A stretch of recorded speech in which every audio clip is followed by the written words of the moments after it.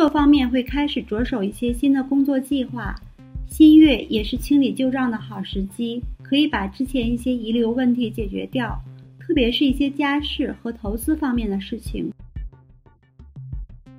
天蝎座的新月触及到水星、金星、木星、天王和冥王以及凯龙，新月与木星和冥王星形成小三角，所以可以在新月的时候，针对个人成长、危机处理等问题做一些长远的学习计划，并且有助于深入思考，但可能会对他人的话非常敏感，总是试图去发现别人是否在撒谎。在爱情中或者与他人合作的关系中，可能会因为一些小事产生挫败感。对于那些喜欢自我表现、强调自我的人，会不太喜欢，觉得他们太个性化。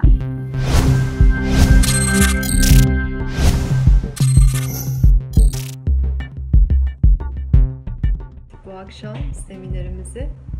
canlı olarak mobil uygulamamız üzerinden yapıyoruz.